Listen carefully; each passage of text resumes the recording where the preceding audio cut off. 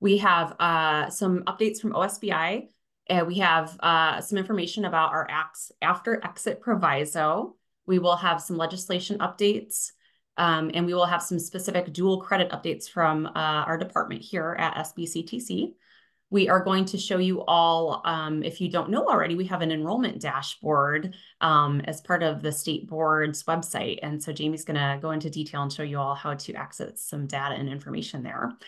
And we are going to also take a peek at our running start billing report in CTC link. Um, and so Brandon is going to and his team are going to help facilitate some of the conversations around uh, that piece, which will lead into a little bit more detailed um, information and a CTC link focused uh, March 20th uh, uh, session. And then from 3 until 3.30, we'll, we'll do some breakout sessions uh, with some topics that we have for y'all. And then from 3.30 to 4, we'll, we'll kind of get some feedback from everybody in the breakout sessions and do some closing shares. So that's what our date is going to look like. It'll be go by pretty quickly here from 2 to 4. Okay, so unfortunately, Tim McLean, our OSPI dual credit program supervisor, could not join us today, but he did uh, update a couple slides for us and shared some information. Um, so I'm going to go ahead and Jamie will help me facilitate this piece here um, and go ahead and, and give you all, provide you all with some updates here. So um, currently under review, uh, OSPI and Tim are working on the summer running start bulletin, which will uh, feature standard running start enrollment, so summer running start now, and then also, also some more information about after exit and what that looks like. Uh, it will also, currently under review uh, and not published yet, is the after exit declaration of intent for the high schools and the after exit assurances for colleges. So that information is not quite ready yet. It's currently under review, and we hope to, I talked to Tim uh, this morning, and we hope to have that he will we will have that available for our March 20th session to share out.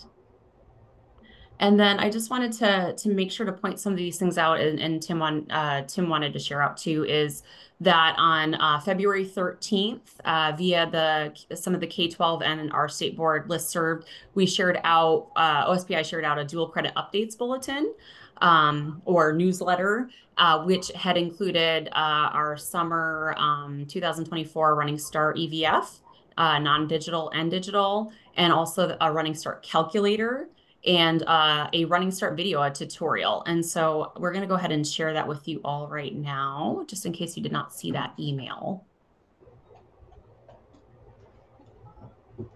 One second here. I guess I'll trying to share.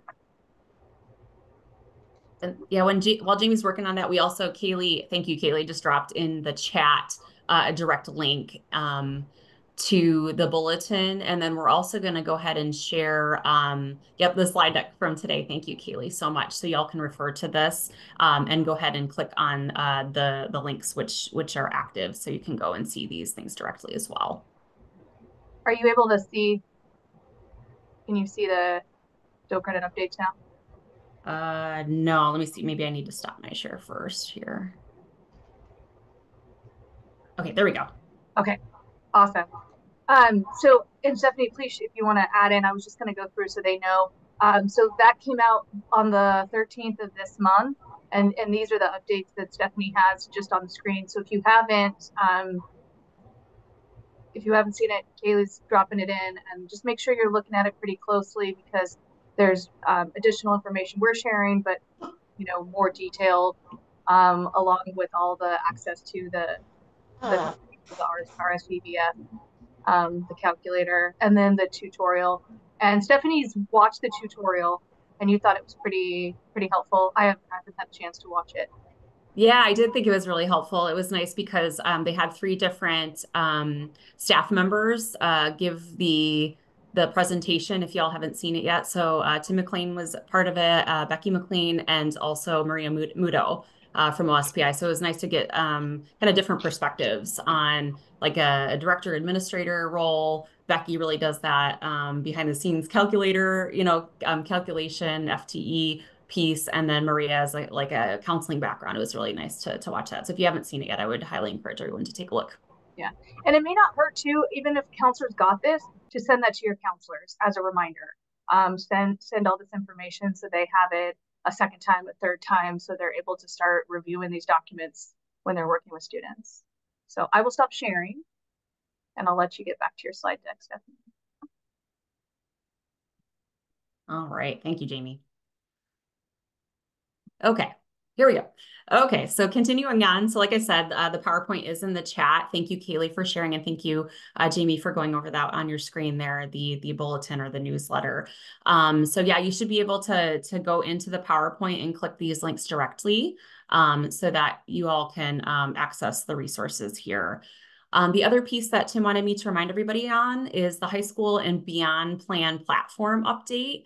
So um, the legislative report is posted, and so the link is included there so you can look at some more specific details. And also right now there's a high school and beyond plan survey that is out and um, it closes March 8th. So I strongly encourage, and it's available in English and Spanish, strongly encourage uh, folks to fill that out, complete that if you haven't yet. It definitely takes a little bit of time. Um, I think it took me a good maybe half hour, 45 minutes to work through all of the questions in detail because they're asking such specific questions to their partners on what to what we should include um, in the statewide high school beyond plan platform. Um, so I found it um, pretty useful and, and they're gathering a lot of great information there, but I strongly encourage everybody to fill that out if you haven't yet. And then uh, OSPI plans to meet on, meet on March 18th uh, uh, for vendor vendor interviews. So based on those vendors that they are thinking about and based on the feedback from the um, survey, uh, they're going to do some interviews um, based on on everything from from that they get from the surveys. Okay, next up, after exit proviso. Okay. So uh, summer is coming. Summer 2024 is coming. And so uh, we have our after exit proviso again this summer. Um, it has, OSPI has decided to open up access uh, to the after exit proviso for some certain populations of students. And so um, I'm going to go ahead and read through this slide and then um, please go ahead and ask questions. We can take some time to ask any, answer any questions that um, uh, come up for folks for this because I know there may be some. So um, after exit proviso will be non-graduating 11th or 12th grade students who met or exceeded that 1.4 AAFTE limit spring of 2024. Uh, so they're eligible for a maximum of 10 credits like other non-grads. Uh, non-graduating 12th graders are not fifth year seniors until fall of 2024 and they're not so therefore they're not limited to high school graduation requirements. Or the other population of students which is is the same as last year is graduating students within 15 credits of their first aa regardless of their annual um, fte so eligible for a maximum of 15 credits but limited to only those satisfying the aa degree requirements. Um, and the high school records should remain open for credits to be tra transcribed for this population. So um, yeah. Uh, questions. I'm going to go ahead and open it up because I'm sure that there will be some.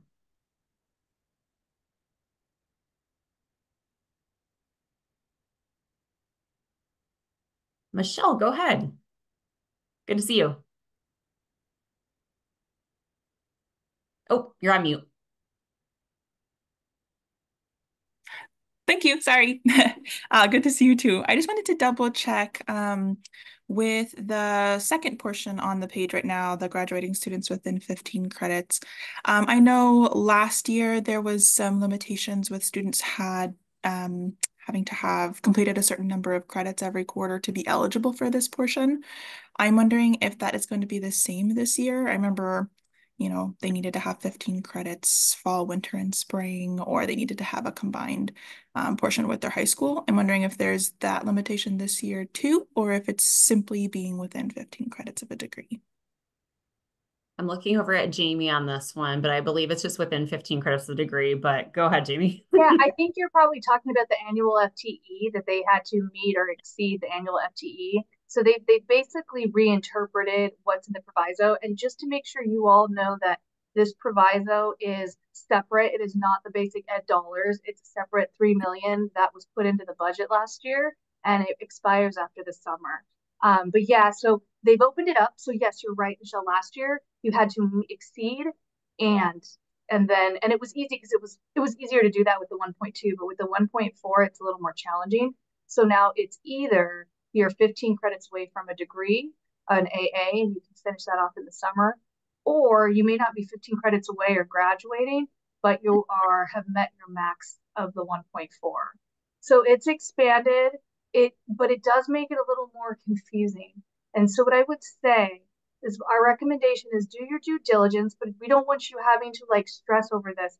Get students in classes, do the best you can with what you have, and get them on the list and get this done. Um, no one's picking apart stuff at this point. So I, I just I don't want this to um, be another. I mean, it can be an, a barrier of getting students these funds. So just do what's in the best interest of your students and and and follow the guidelines as as well as you can.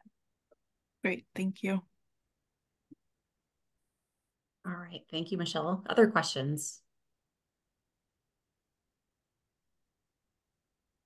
So I see a question in the chat. Can you explain how non-graduating 11th graders would fall under after exit when they still have their senior year ahead of them?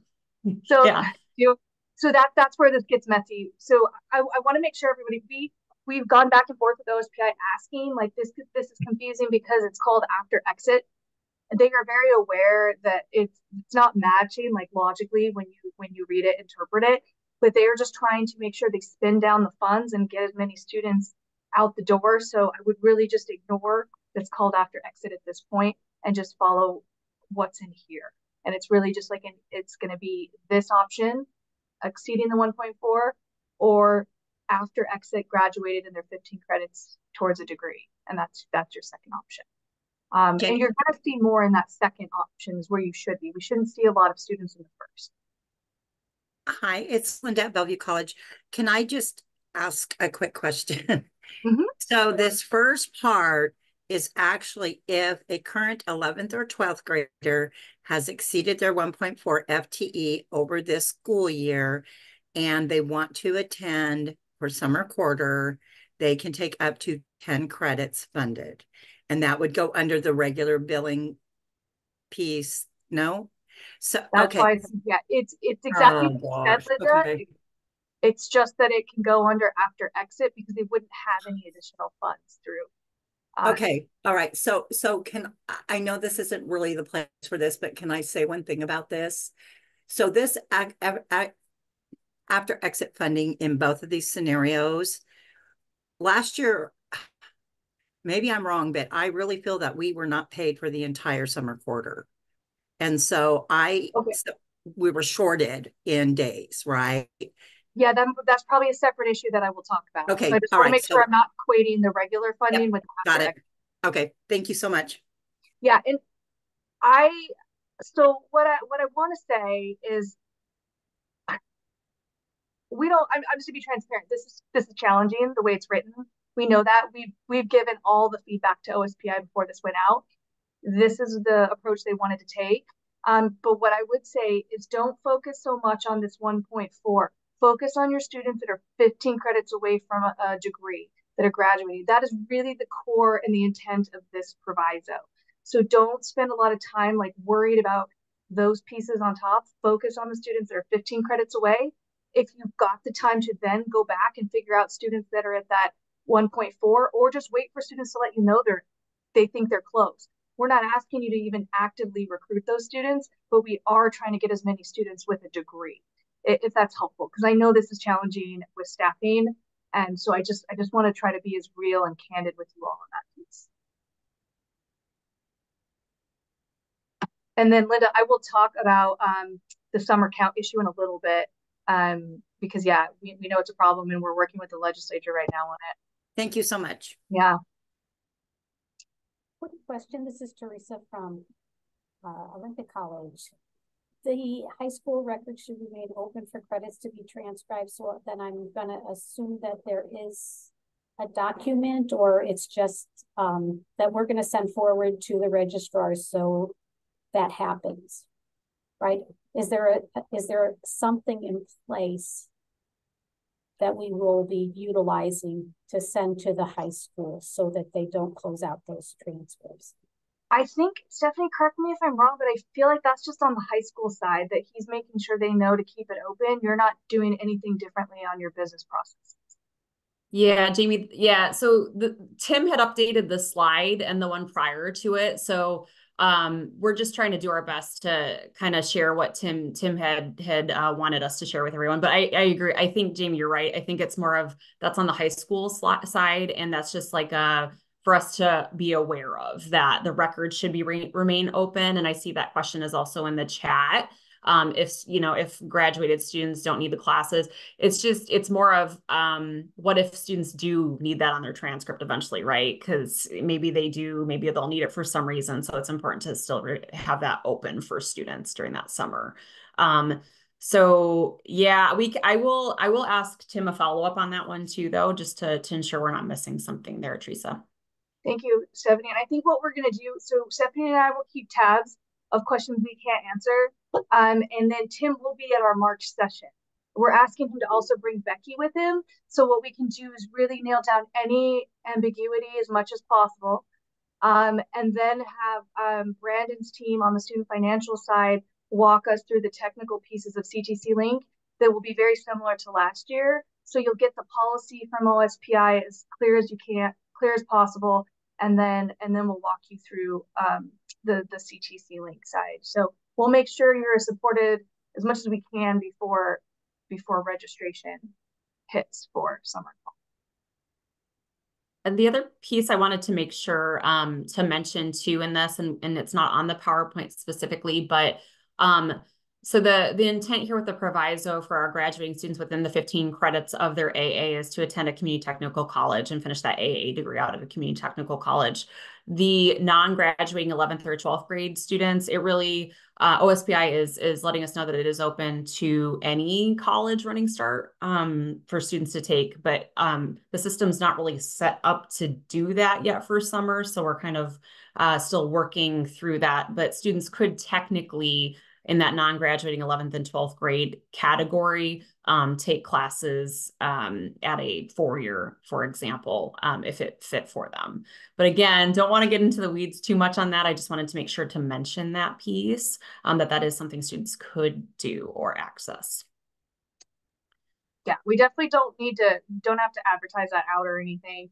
And I think Central tried to do it last year and it was pretty limited.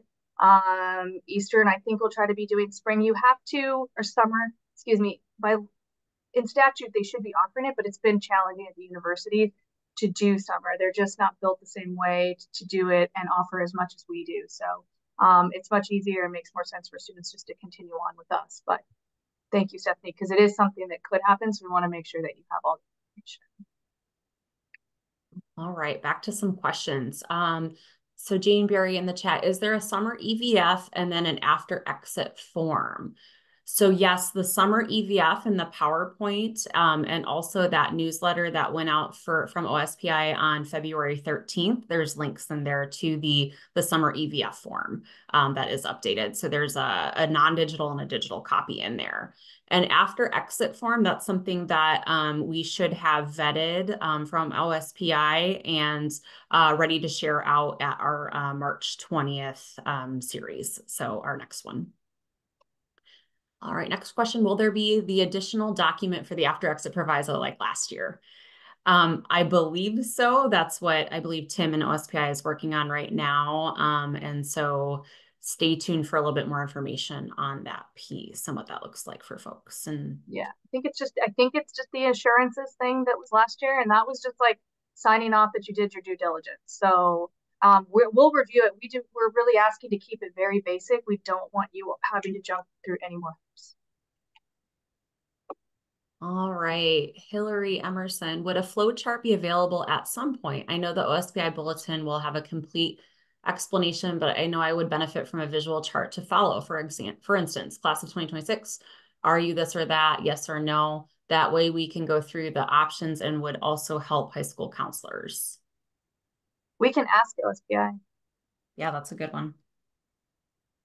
I would worry. I mean, we can ask. I'm just going to say that I, I worry that it could make it more complicated, and then we might get too in the weeds. But if if we think it could be functional for some, I we are more than happy to advocate for that. All right, I think that's all of the questions. Does anyone have anything else for now for after exit? Okay, we'll go ahead and move on. Okay, so we've got 10 days left in the legislature. Um, uh, in the next slide, I will talk about two things that are happening in the legislature, but that are not bills, but that are related to you all. But two that you um, should know about, uh, House Bill 1146, this is the one that was here last year. It's additional um, language that would put into statute that high schools are required each term before a student registers to receive all dual credit information and financial assistance information from 9th through 12th grade. And that's so that means every type of dual credit program. Um, and that's like could be digital, so just an email, etc. Um, it's a pretty. Um, I'm giving you the language right now in the chat, but it's it's pretty it's pretty basic, fairly non-controversial. Um, but it is putting more um, a little bit more responsibility on um, uh, the high schools. So you know, one thing we could talk about later, and that might be maybe in our April meeting, is could we be proactive in that? I was just thinking like maybe we all can agree on some language that we'd ask the schools to send out that that's that's helpful and inviting for all programs. Maybe we can take take ownership of that. So that's one less thing, and it also gives us maybe a little bit of um, input in that. So we can talk about that more. Maybe creating some type of blurb to share out if you're interested. Um, Senate Bill 5670 um, has changed a lot so I want to make sure everyone is aware because initially it was letting 10th grade students participate in Running Start Online, but there was a big amendment at the end. That is all gone. The only thing it's doing is ensuring that rising juniors can enroll in Running Start that summer before. And you all knew that that was already happening because OSPI has interpreted the language that way. But this kind of what is what we call codifying it, where we're putting the language in statute so it's clear. So no one can go back and say, no, we can't do that. So it will say in the RCW, um, rising juniors, students who have completed 10th grade and are going to 11th grade can access Running Start in the summer for 10 credits. And those 10 credits do not count towards their annual FTE once they start their junior year. So that's all that bill's doing. It's in, um, it's towards the end of the rules committee in the House. It'll get a vote on the floor and it will be passed and signed. Jamie, does it still have to be online classes only? No, no, no. So all okay, that is cool. yeah. The only thing is just red regular running start students, be able to access 10th grade or excuse me, 10 credits in summer. Yeah. Okay. Any questions? Yeah. It, I don't think anyone had questions. So. Oh wait. Hey Janae, you have a question on that one? Hi, yes. Um, just a, maybe a logistics question, and if it's just up to the individual institution, then I then I can run with that. Um, but would there be a, is there up to the discretion of the college to say we're not allowing 10th grade access to running start at this time or for it for, uh, through an admissions standpoint? Um, do, do the colleges have the ability to do that? No. Okay. No, yeah, yeah. You'll have to, yeah. So, um, you know, I think there could be some strong recommendations on the type, can't say like have to, but some strong recommendations around the courses you should be taking in the summer. Like really mm-hmm. focus, maybe just, you know, college success course, uh, you know, um, but yeah, right now, if as long as that goes in, and even the way OSPI has interpreted House Bill 1316 from last year, we we we can't limit or prevent students from enrolling after they've completed 10th grade. Okay, wonderful. Thank you. Yeah, thank you for your question. Okay. Yeah, let's go ahead and go to the next one. Oops, there we go. All right. And I think I saw Kaylee ready to uh, share screen. Think, uh, sorry, Kim, do you think I could just finish with the legislature stuff? So so I'm just thinking that might flow better. Good just, idea. yeah. Okay. Please do, Jamie. Kaylee, thank you. Okay. So um the summer running count issue. So we real um, you know, we realized when we did summer last year that clearly there's only two count days with the compressed schedule, which means our colleges are only getting two thirds of the reimbursement. So we've been working with OSPI on some language to put into the budget that creates an enhancement. So basically, you're getting more money in two counts that will make up for that third count. Um, we, uh, Representative Paul put in our request. It was in the budget. Um, there has been like some back and forth on the amount, and so we, I've, we've been asking um, representatives and senators to advocate for this. and the hope is we will uh, make sure it is fixed. But it, it's it's in the process, and it's a high priority to make sure that we're getting the full reimbursement for summer. So as soon as that's official, um, probably in mid March, I'll be able to share more information with you. But just know it won't be like a third count date that we got to figure out. It'll just be two. You're just going to get an enhanced rate. Questions on that one? Okay.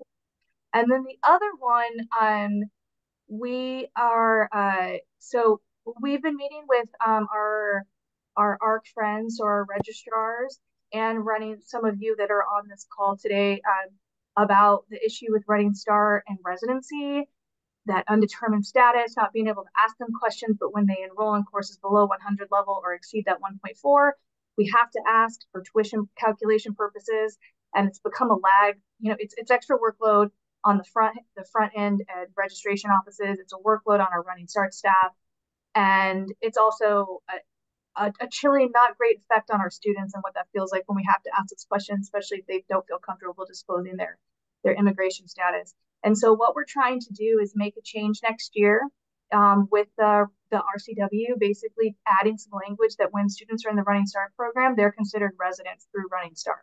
So every Running Start student is just a resident. You don't have to be asking them questions. You don't have to ask for additional information. They're just coded as, as residents. So it would just be taken care of. It's into law. Um, we can't do that till next year. We're going to have a big, um, we've got a lot of things we're trying to fix next year with the big, um, with the big budget session. But we know it's still a problem. So we are requesting a state board approved waiver. Um, so I'm meeting with uh, presidents this week to ask their permission to move this forward to our state board and they will basically um, this waiver will just be in place for all running start students and we'll have an you know and we'll have you know uh, a meeting of training of what that looks like on business practices. And we anticipate if this waiver once this waiver is approved whatever process we've designed for you we'd like to keep it the same way once it's in the rcw so we're not asking you to change it halfway. That it's just what you do. But it'll just be a waiver for all students. The one thing you just need to be careful with is if they stay on as a regular student after they've graduated, that waiver needs to be taken off and tuition is going to have to be um, evaluated regarding residency. But anyway, we're really excited about this and we, we hope it's a win. I, we're trying to see any negative impacts here, but we're not seeing it. So we'll take it to the presidents. If the board's board approves it in March, it should be effective, I believe, by April, and we'll make sure that we give you more information once that's completed. But thank you to all those that have been working on this. We've got several of you on the call taking extra time to have these conversations, and we really appreciate it. Um, okay, I'll just leave if there's any questions here. Otherwise, I'll let Kaylee show the new uh, dual credit YouTube.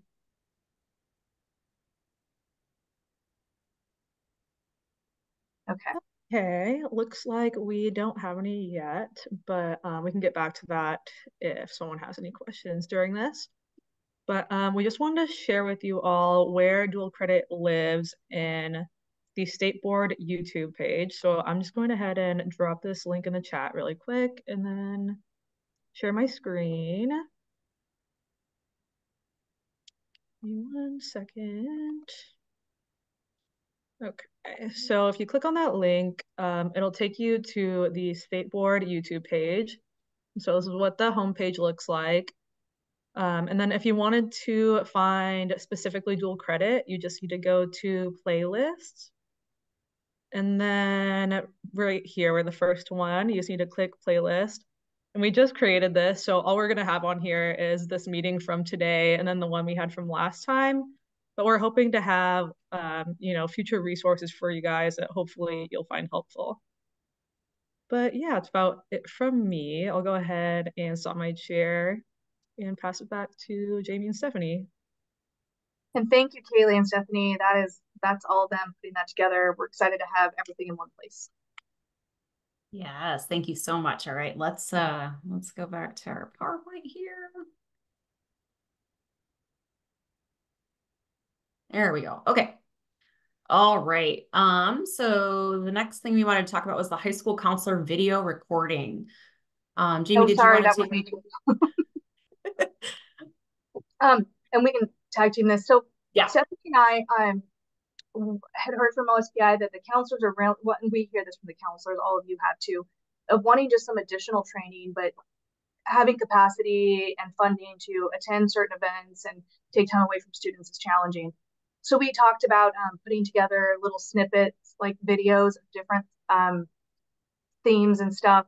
We were going to try to get one done like right away, but OSPI had some additional feedback, and I think they weren't they weren't ready to move forward yet. But what we're trying to do is uh, we've already got a group together. If, if you haven't been already meeting with us, let us know if you want to be a part of it. But we're hoping to identify certain themes that don't necessarily expire quickly.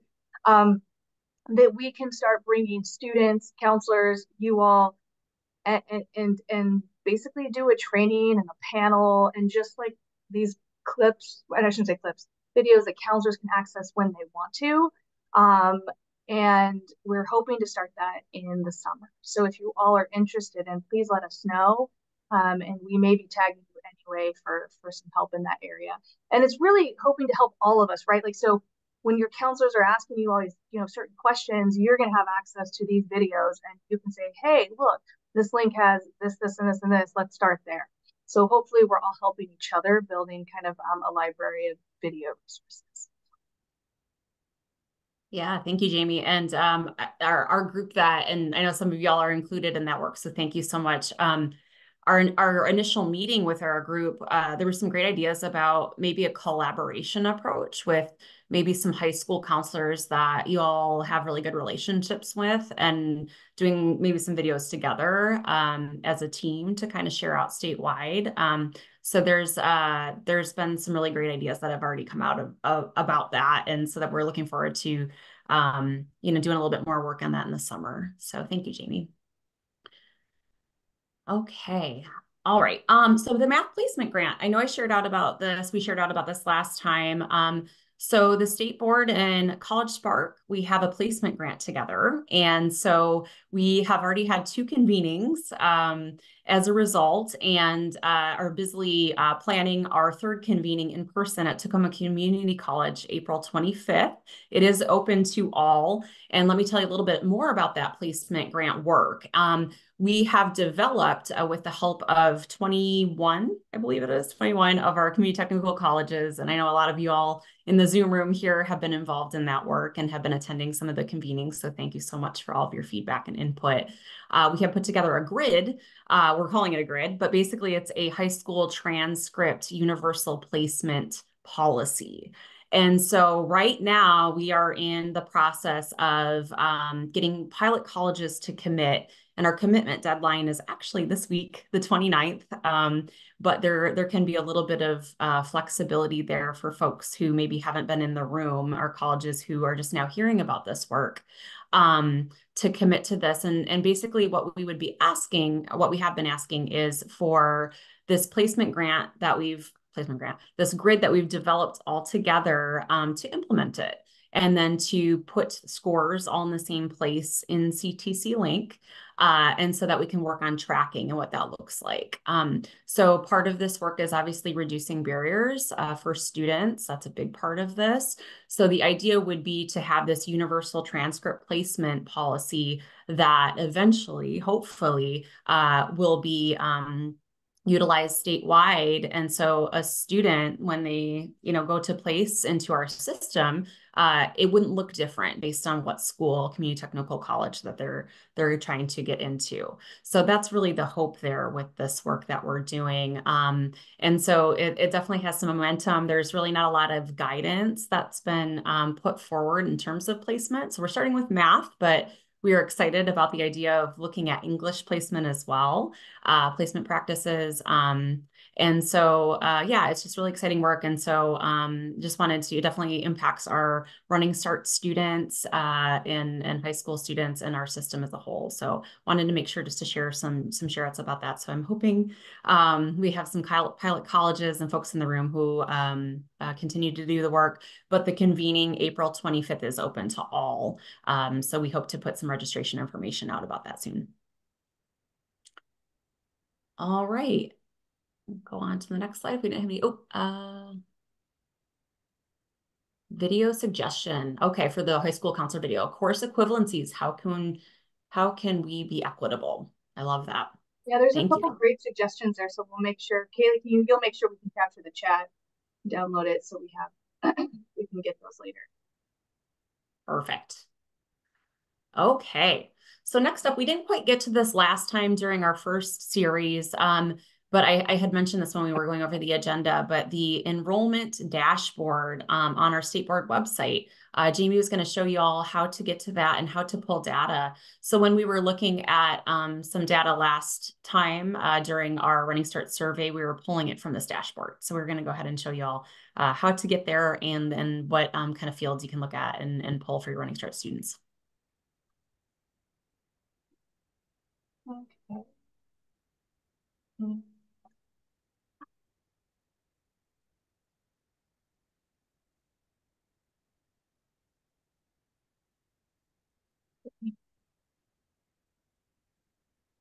Okay. Are you all seeing the enrollment data? Okay. Yes. Okay, cool. Um, so this isn't necessarily new. You all have access to this, but I just didn't realize how much of you, or excuse me, how many of you knew about it. Um, so this is kind of a quick way. You know, I usually always check in with our research department and like Noah, who may still be on the call, before I send out information around any kind of um, enrollment data. But um, you can use this dashboard. We have private dashboard if you're on your college server, and then we have public. There, there's a lot of different dashboards, and you know that could be a whole nother. Maybe bring Noah back and do a whole nother like um, uh, training on that piece. But I wanted to make sure you at least knew um, where you can go uh, for for enrollment. And I'm going to go ahead and put in the chat to why. Uh, why am I not seeing my chat? Um. Oh dang it! Sorry. Well, I'll make sure I put that in the chat in a minute. But um, so you can check out your enrollments. Um, so if you go into the enrollment data, the FTE and headcount,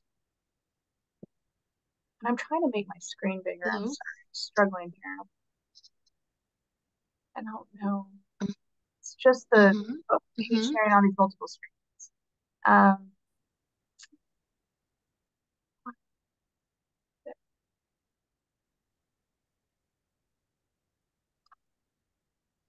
Can you all see okay? I feel like I'm no, this isn't gonna work. Hold on.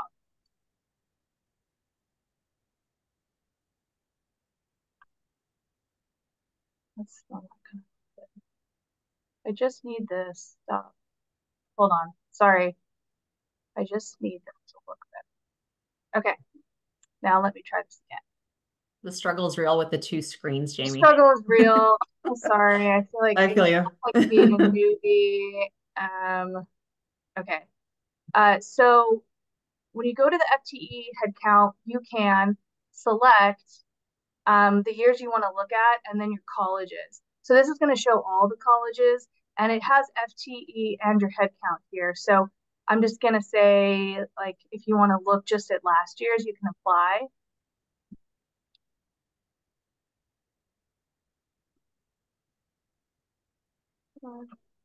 And then the thing that you need to make sure that you're doing is selecting Running Start. If you don't select that, then you're going to get all your students.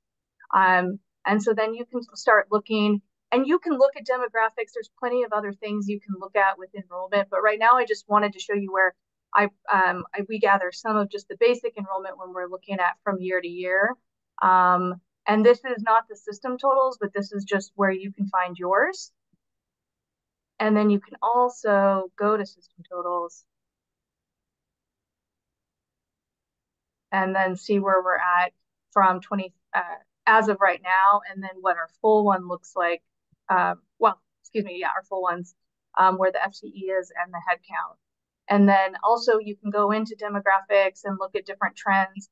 There's plenty of information. So if you haven't seen it, you know, um, I um, I would check it out. But I'd always check in, you know, with your institutional research when you're publicizing any of this. But if you're just trying to look and get an idea and you're not sure, or you want to compare a little bit from college to college, this is um, this is where you go, and I will pop the link into the chat right now. Okay, just wanted to get that out there. Don't want to spend too much time on that. Perfect. So I want to make Thank sure um, our CTC link, Friends, financials, I think they have to leave at three. So I'm wondering, Stephanie, do you think we could just skip over? Okay. Let's do it. All right, let's go to CTC link first. Okay. So um, we acknowledge that uh, a lot has happened since the initial Running Start billing report was first created in CTC Link. uh, we now are all on board, right, with CTC Link. And so we thought this was the perfect time to take a peek at the Running Start billing report and maybe make some edits to it, add some features, um, remove stuff from the report. And so what better um, opportunity than right now to, to have that conversation with you all um, and uh, also kind of mention something that we've added. So um, in working with our amazing student financials team, uh, we have added a new column to the report, which will go into place tomorrow morning. When you pull the Running Start Billing report, it will have an advisor category. So um, really exciting. Um, and I, I, think that we've heard uh, that from folks for a while now, um, that that was something that would be nice to include. So that will go into effect for tomorrow, uh, as of tomorrow morning. Um, and so the other thing, you know, we just wanted to kind of open it up and uh, Brandon, please feel free and, and team to jump in here too to facilitate this conversation. One of the things that we're going to do is our March 20th series. So our next one, our next, next session to this is we are going to um, kind of do a deep dive into CTC Link. We're going to uh, talk about after exit and kind of do a, a refresher training. Our student financials team is going to do a refresher training on after exit. Uh, and so, and also we're, we're purposely asking questions about the billing report today so that hopefully we can uh, make some edits to things for folks um, and, and maybe hopefully have um, some, some uh, things produced by, by March 20th, but we'll see. Um, so I think uh, a question maybe to open it up to folks is, um, two really. What would you like to see removed from the report and what would be helpful to add to the report? Maybe we can start there but i know also brandon um, correct me if i'm wrong we were going to maybe show uh, a billing report just so folks can actually see it um, just in case you know um, we don't have it in front of us. Uh, yes i will share right now. Wonderful thank you. And so heather you are spot on uh, oh, am I sharing a, a scuba diver? Hold here? on. Let me. There we go. Okay. Okay. So uh, you were spot on. The new newer column is at the very end. And Wonderful. so this this will be populated. Thank you. uh, after, after beginning uh, tomorrow morning, uh, when you run the report,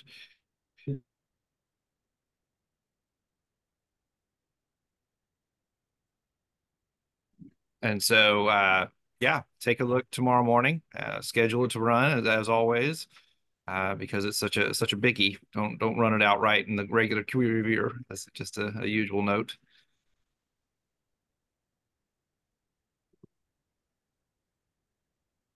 But that's it.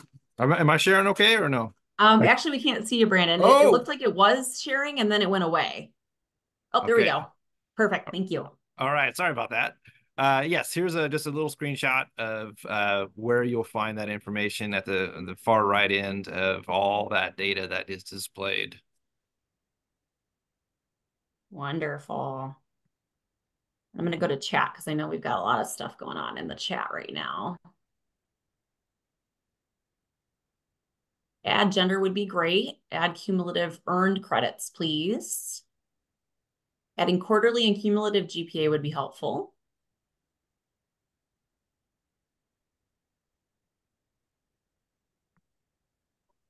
And then Dan, Dana, can you elaborate on your, your question? I don't run it outright in the query viewer. I don't understand that.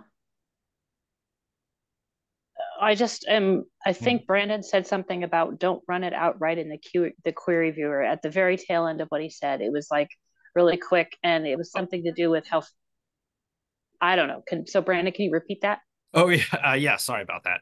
Uh, when you go into the reporting tools in CTC Link, there is an option for a query viewer, and then you can go in to select the query and just to run it to HTML.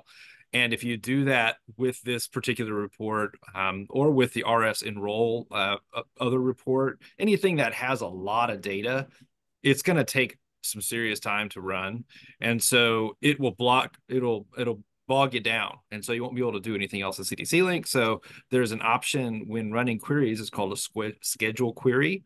And all you need to do is uh, set up a run control for it and include the proper query name. And then while that's running, you can continue doing other, other work and it won't bog you down. Got it. Thank you very much.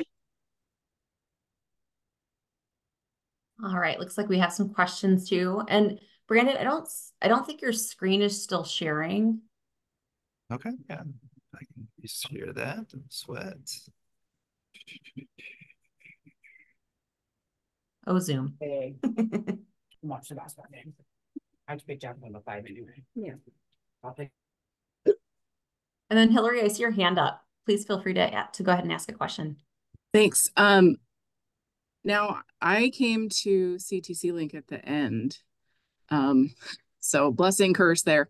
Um, and I was completely baffled on why this query had so many columns. Um, and so what I would like is just the billing query to only have the data that we need to do the billing and not everything else. Like it, we, it's really should be no more than 10 in my opinion.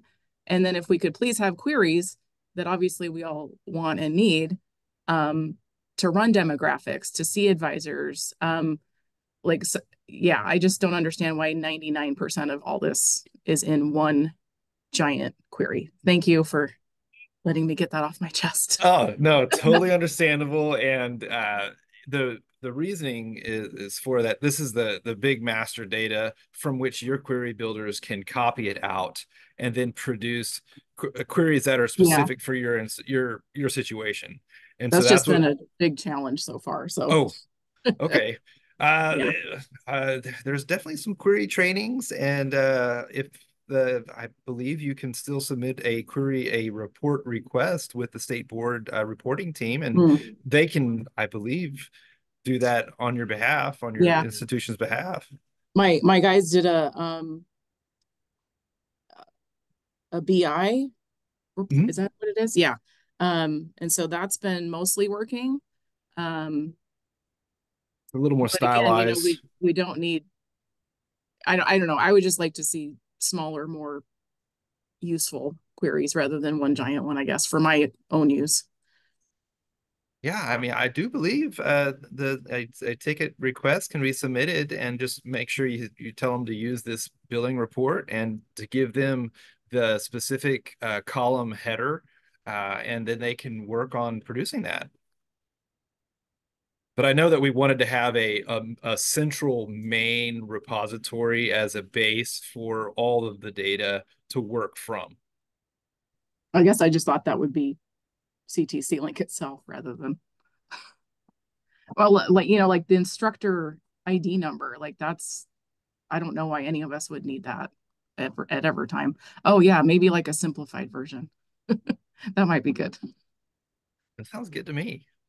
I'll well, and that's that. part I'll of what, yeah, that's part of what we're trying to do. So, so like Brandon said, you know, part of this is we don't want to remove anything that is feeding information to you all that is needed in some way but how do we i agree there's like 40 categories right how do we maybe remove some things that are absolutely not needed on there. Um, and then maybe if needed, add some columns that could be useful for folks. But I hear what you're saying, Hillary, because Brandon and, and team has talked about that too. Do we create smaller reports with maybe more specific demographic information, or do we try to like add it to this and then simplify some of these categories that are not needed that maybe we thought at the beginning were. So that's kind of what we're trying to gather is just some information from you all as what you're like, absolutely not. I have never even seen that, worked with that, that category. We don't need that.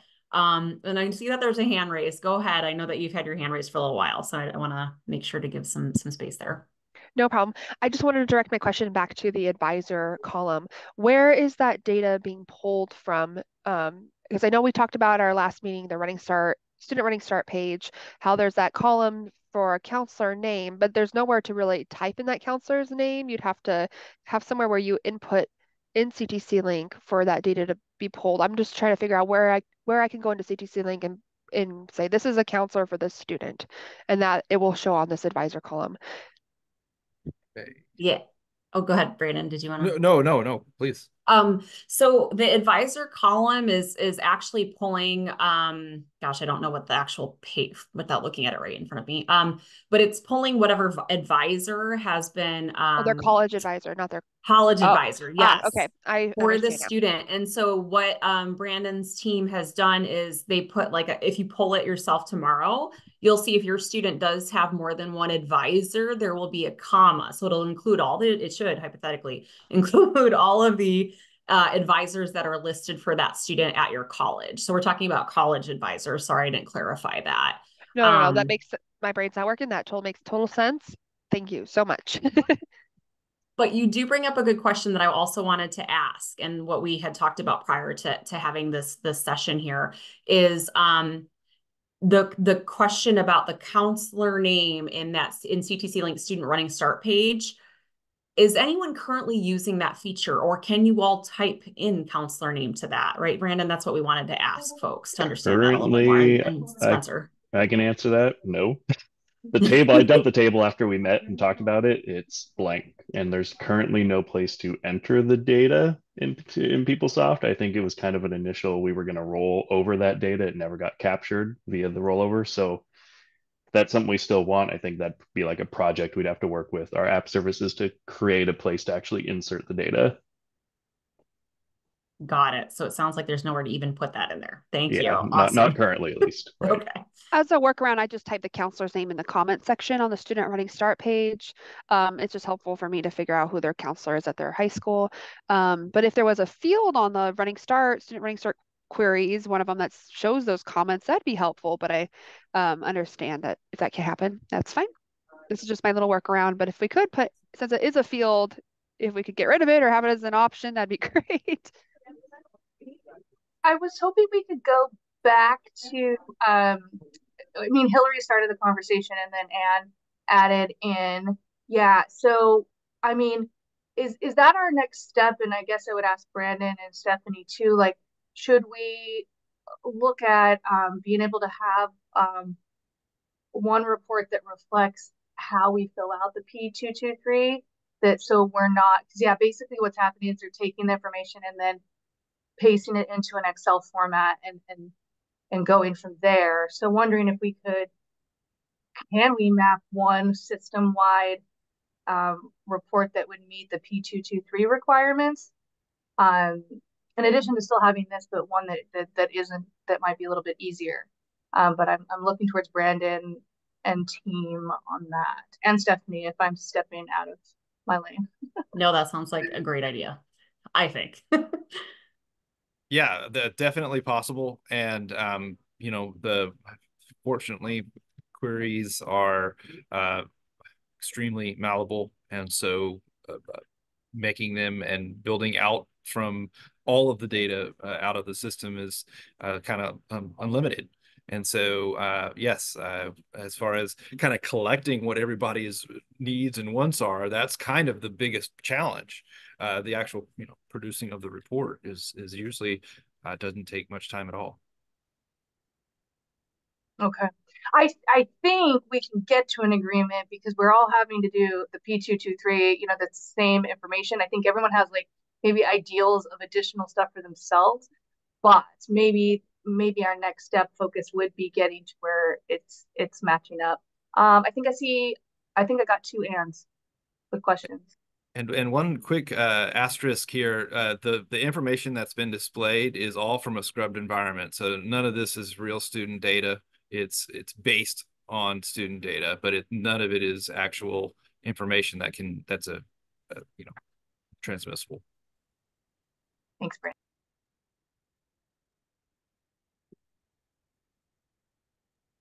Okay, I'll go first. Hi, everyone. Um, I have a, just a quick question. I'm not sure if this is anything um, already asked our IR folks that they maybe they may uh, look into and submit a ticket soon.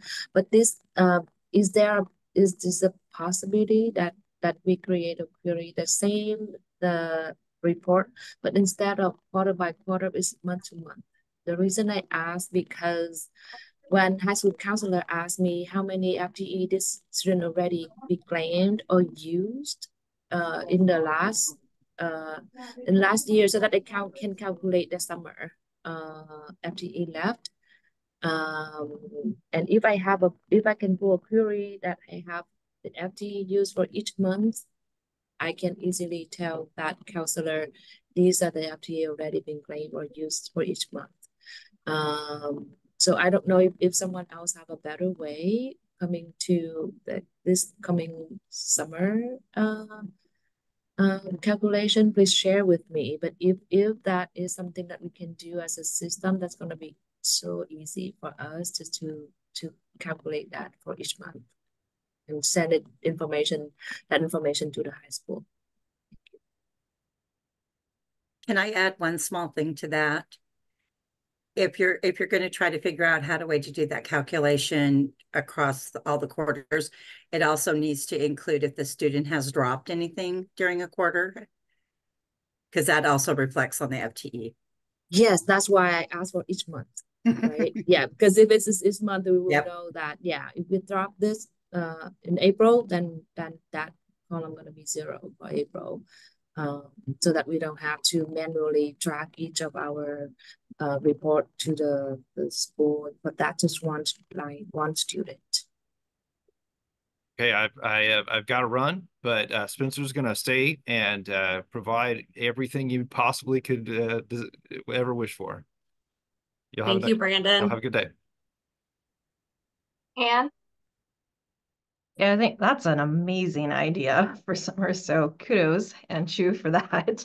I think um just going back to the the concept of the P223 report, I think it's just because like we are all required by law to submit that information. Um, the high schools, of course, would love it to actually be in the P223 form. Uh, all of my high schools that I work with have gotten released to like, we just send the Excel spreadsheet like that's just what we do.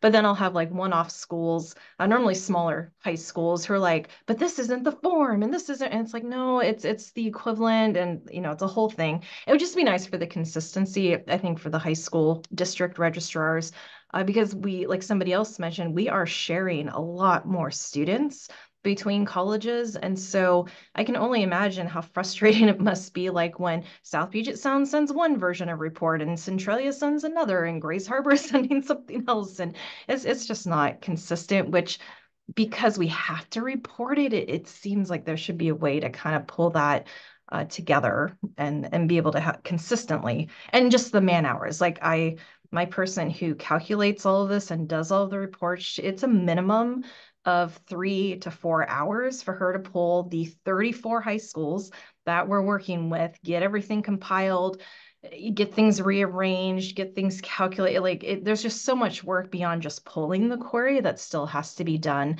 and then packaging it with you know signatures and dates and and all that stuff. So a lot of man hours every month spent on just billing. what would be nice is if the if the high school's count date and information didn't have to be to the state before our count information had to be to the high schools and districts. You know, theirs are due to the to the state on the first day of the month, and we have until the eighth day. It's like why why can't it all be due on the same day so that we can have that grace period to get our information to the high schools instead of them relying on our preliminary reports that we send to them.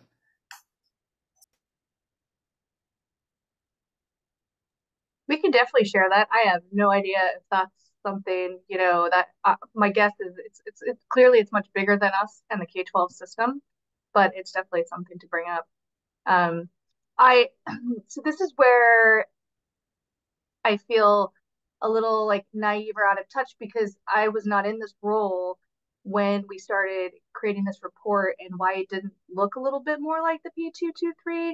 So I don't know if there's any historical reasons for it, but and, and I don't want to overpromise anything, but I, I, I want we definitely want to make this work easy, you know, make this an easier process for you. So if we can make it work, we'd like to do it. And the student financials team's been amazing. Um, this whole time of, of honoring and helping us with requests. So um, I don't want to make I want to make sure we don't spend too much more time on this. We can get to everything else, but I'm thinking um, we we may pull together a few of you, and it may be worth to bringing Becky McLean in and and letting her know like we'd like to get to a place where we have a common. This is what it's going to look like for everybody, and can you agree and make sure that you know districts are on board and they understand and that they're not starting to ask for specific things and that we just have one common way. Is that kind of where we're trying to get at? I want to make sure I'm I'm understanding. That seems to be what I'm getting. Go ahead, Anne. I just saw you uh, unmute.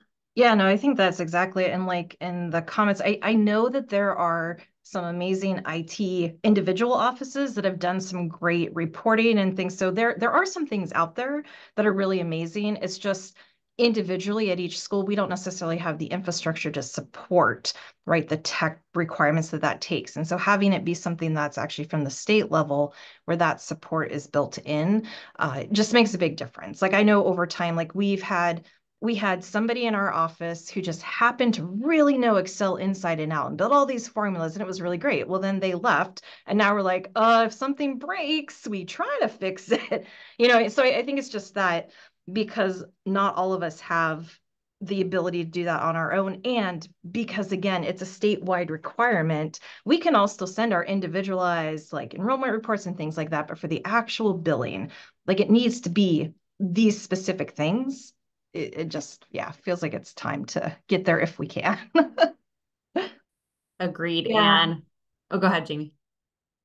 I just, oh, I was just going to oh. follow up. Go ahead yeah, I think we're trying to say the same thing. Yeah, so uh, that's why we wanted to start having this conversation during this session. And thank you everyone so much for all of the feedback you all have provided. This is so helpful. Um, at least a starting point to start to try to figure out, yeah, why why work harder when you can work smarter at some of these things? And um yeah i love the idea of basically creating some type of something that matches that p223 because you're right it's a ton of ton of work on everyone. Um so i'm excited about what we've gotten from you all today and um I, I, like the idea of so uh, just my initial thought here is you know we're going to see if Becky can Becky McLean can uh, from OSPI can attend our next March meeting um, with Tim. And so um, I, I hope to maybe have a meeting with her before that. Me and Jamie or you know to try again we don't want to make any promises but um, at least we can maybe start to have those conversations about what we can do to make this look a little bit um, easier for folks. And yeah, Maria Christina too. um, sounds good. Um, so yeah, I student financial team, do you all have any questions for folks or anything um, that you all wanted to to add? Not from me. I, I just want to say, yeah, it's if, if all the data lives in PeopleSoft and we're spitting out 40 fields, but there is a set report that needs to be sent out to like, is it the high schools, right? This P2, 3, three, two, that one. Yeah. Yep, that one. Yep. so that's totally doable. Yeah. So like as long as we, you know, get all the concrete, right? Anytime IT, right? We need all the concrete logics, rules, how it needs to be formatted. That's totally something that we can do. Like that, I think our last meeting where I was, me and Charles were pinging each other like, why don't we, what do we have something like that yet? And so we, we were thinking the same thing. So yeah, as long as we get all like, it sounds like meet with the right people, get the get the formatting down, and what what kind of data we need. That's that's totally something doable and seems worth doing for sure. Wonderful. Thank you, Spencer. Yeah, thank you, Spencer. All right. Well, um, I think what we'll do as the next step is maybe um, kind of talk together and, and figure out if we want to put together like a, a work group um, to include y'all, maybe put it out on, on listserv um, and see who would like to take part in this work with us uh, and really get going on this because I, I think it's long overdue at this point um, to, to get something that works a little bit easier for our whole system. So thank you, everyone. Thank you, Student Financials team. Um, we're really like, excited to see what we can do here um, and make everything a little bit easier on folks. All right, um, we are going to go ahead and move on to our next slide here. Okay. So this is more of a ask. Uh, so the 2024 NACEP National Conference, uh, concurrent enrollment programs, uh, national and concurrent enrollment programs, uh, is going to be held October 27th through 29th in Orlando, Florida. And um, we are doing some pretty amazing things statewide when it comes to concurrent enrollment and especially running start. Um, we're very it's a very unique program um, when you look across the us and jamie and i uh, had attended NACEP uh, in october in st louis and you know we were going to some of the sessions and we're we're like why not feature you know what we're all the great work you all are doing in washington state and so we would love to put together a proposal um, on some of the innovative practices and programs that you all have. Um, so if you are interested um, in uh, working together on, on a proposal, uh, we would love to hear from you. And, and the proposals close um, are due actually March 29th. So it's a pretty quick turnaround. So if you're interested, if you could let me know by March 5th, uh, we could get working on something, a proposal together to present. And really, uh, this particular conference is focused, as you can see here, on spotlighting the student experience. So we were thinking, and, and the these sessions tend to focus on uh, accreditation and program quality, uh, advising, career pathways, equity work, policy and advocacy, program operation and innovation, uh, research data and program evaluation, and then the newest one for this year and is also the uh, focus of the conference is that spotlighting the student experience. So if you're doing, you know, wonderful work with, you know, underserved populations, underrepresented students, uh, innovative work in with your low income uh, waivers, uh, accessibility, we would love, and you would be interested in this, um, please reach out to me because um, we would love to to put something together with you all in partnership. And I will say mm. it's not a big task to get the proposal. Like they're not asking for a ton of stuff up, up front. So don't don't let like, oh my gosh, I gotta submit all this stuff to Stephanie and Jamie stop you from doing this. Like we will take care of that piece. We just need to highlight and I think our thoughts are really highlighting like three colleges for like we want to want to highlight a, a few and have some foundational stuff about the program and then best practices. Um, and like Stephanie said, like I mean, I just I think it just makes sense we should be highlighting this stuff at the national level. So please email Stephanie and we'll get this going. Plus, it's a Disney World. I'm a I'm a Disney geek, so but I plan to do some Disney World a couple days afterwards, and it's on the grounds of Disney. So if you don't like Disney, maybe not, but it, it should be a good time. They actually even show it right in their visual there. So I think that's saying a lot. But yeah, thank you, Jamie. Um, so we'd love to hear from you all and please, please reach out to me. Don't hesitate. All right, um, we're gonna go ahead and move on. So we didn't quite get that to this our last series um, in in January, um, but definitely wanted to mention this. So we wanted to kind of send out an open call to you all. Um, you know, we're continually continually uh, improving our processes and communication. Um, we are just curious if any of y'all would like to share uh, best practice documents you've created um, we would be completely open and so happy uh, to receive anything that you would like to share with us.